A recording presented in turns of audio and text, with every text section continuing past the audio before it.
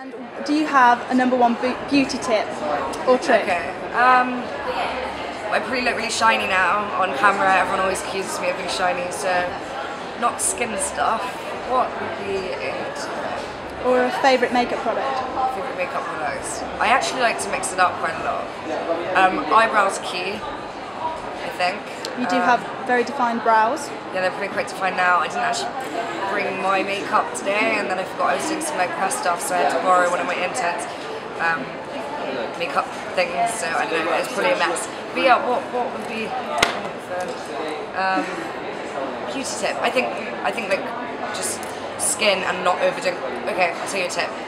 Not never have a really really heavy eye and a really heavy lip and then some sort of lip liner and then like the blush and then don't go overboard. Basically don't do heavy everything.